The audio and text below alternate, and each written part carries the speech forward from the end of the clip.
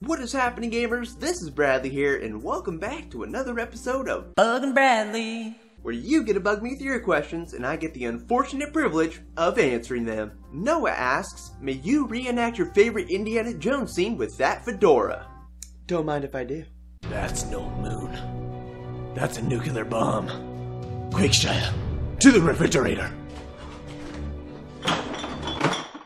Cripes! Jesse Ballard on Twitter asks, What was your favorite movie this year besides Star Wars? And what is your favorite GBA game? Well, what came out this year? I might be forgetting something, but my favorite besides Star Wars might either be The Martian or Ant-Man.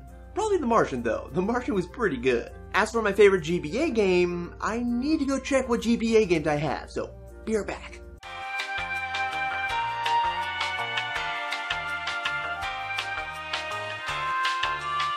I'm back. So after uh, pondering over my GBA games a little bit, I came to the conclusion that this one might be my favorite. It's The Legend of Zelda Link to the Past. Oh, and I almost forgot that I have GBA games on my 3DS, and Metroid Fusion is pretty awesome. Plague Mask Guy on Twitter asks, Do the Harlem Shake.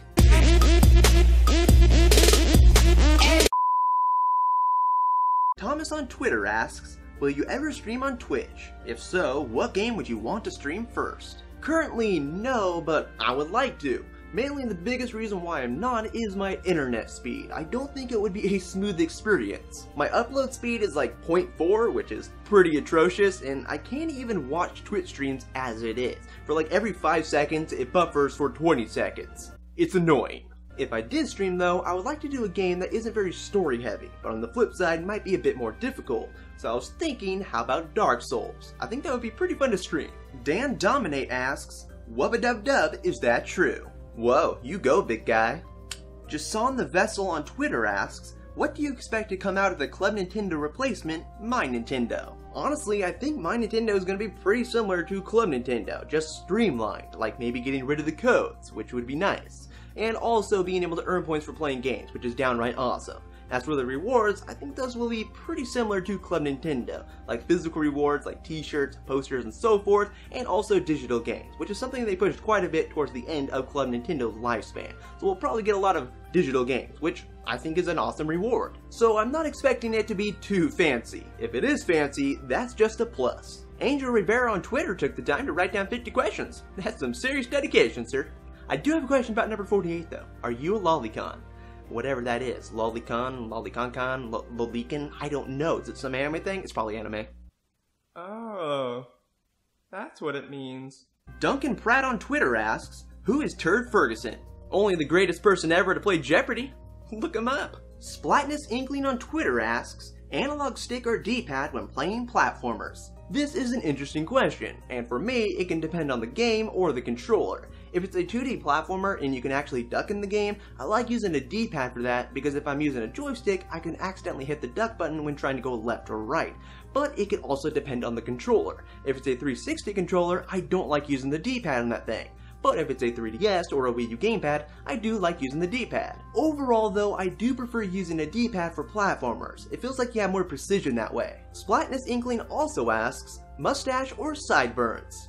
Well, you tell me. Colin Gorman on Twitter asks, would you rather have Batman as a father or Zelda as a sister? Well, after thinking about it on the toilet, I came to the conclusion that I'd rather have Batman as a father, because he's Batman. And then I can tell him all about Spider-Man. Andy something something on Twitter asks, what do you expect at E3 2016 from Nintendo? Well, I'm gonna go the easy route and say the NX. They're gonna show that baby off, maybe show some tech demos, get you to play those, say they're not actually games, even though they might actually be games in development. Remember New Super Mario Bros. Mii? And also, we're gonna get Zelda Wii U. They're gonna show that baby off, have it playable on the show floor, and also announce Pikmin 4. Mark my words, it's happening. Ryan Time on Twitter asks, what is a man? Long, long lost descendant of a Wookiee. A pitiful sack of meat. A scaly lizard. Trump's mom. Metal Guy 40 on Twitter asks, Will there be an art gallery of your fabulous face in a video?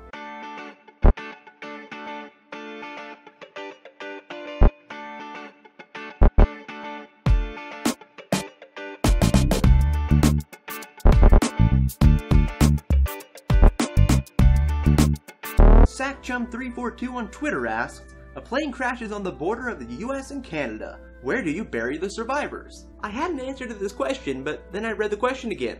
Where do I bury the survivors? Which means they survived. This means they're not dead. Trying to make me a murderer? But really, all you have to do is cut each person in half, and one half goes to the US and one half goes to Canada. You're welcome. Christopher Davis on Twitter asks, Do you sing in the shower? You don't think that you can sing it fast, then you're wrong. It would help if you just sing a Mega Agent 2001 on Twitter asks, What was your favorite indie game of 2015? Well, if you watched my top 5 3DS games of 2015 video, you might be able to deduce the answer to this question. It's SteamWorld Heist. It's phenomenal! Harvey Mary Diaga on Twitter asks, Do you think it would be worth getting a PS4 just for one game? For example, Kingdom Hearts 3. If you're just going to get one game and never get anything else beyond that, then I'd say no. But let's be honest here, you're probably going to get more games beyond that. So if one game is just a catalyst for you getting a PS4, then sure, go for it. But if you do have an Xbox One, I might be a little bit more hesitant to get a PS4 as well. Ben Granger on Twitter asks, have you tried the free-to-play Pokemon games on the 3DS? If so, how much money have you spent on them? Well, I have played most of the free-to-play Pokemon games on the 3DS. I played Pokemon Shuffle and Pokemon Picross. I haven't played the Pokemon Rumble game though. My favorite is definitely Pokemon Picross. And as for whether or not I spent any money on them, no, I have not. Come to think of it, I don't think I've spent any money on a free-to-play game yet. Daniel Martinez on Twitter asks, what are your least and most favorite video game cliches? Probably one of my least favorite video game cliches is the damsel in distress. That gets used quite a bit, especially in Super Mario. It's just not a very interesting concept, unless there's like a twist to it. But one cliche that I don't mind a whole lot is characters having amnesia, like in an RPG, because the characters' backstories aren't always the same. Whereas with the damsel in distress, it's always like a princess or queen getting captured, and that's pretty much it. The term cliche doesn't really have a positive connotation, so I can't really say like, oh, I just love this cliche, but like characters having amnesia is one that I can tolerate. Me Clint asks, what is your opinion on Steam slash Valve? Well, I just got myself a gaming laptop just like a couple months ago, so now I can actually play Steam games that require something a bit more powerful than a potato to run it. So now that I can actually play a bunch of different Steam games, I'm seriously loving Steam and it's super awesome. I'm playing all these different games that I missed out on in the past, like Bioshock, Tomb Raider, Dark Souls, Super Meat Boy, and so on. And also, there's Steam sales. Mmm, the Steam sales! I got Psychonauts for $1. That's awesome. And the final question comes from Shant Gamer, and he asks, What game have you played the most in your life? If I had to guess, oddly enough, it's not a Nintendo game, but rather Guild Wars. I spent a lot of time on that. So that will bring us to the end of the 20th episode of Bugging Bradley. If you liked what you saw, please give this video a thumbs up, add it to your favorites, and all that good stuff. If there is a question you want to ask me, leave that in the comment section below. Or you can ask me on Twitter and use the hashtag BuggingBradley, so it's easy for me to find it. But I will talk to you later in the next video, guys. Bye!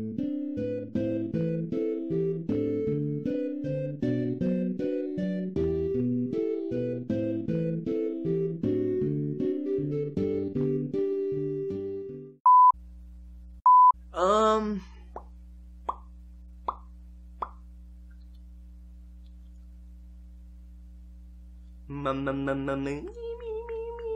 What are you doing? What are you doing? What are you doing? What?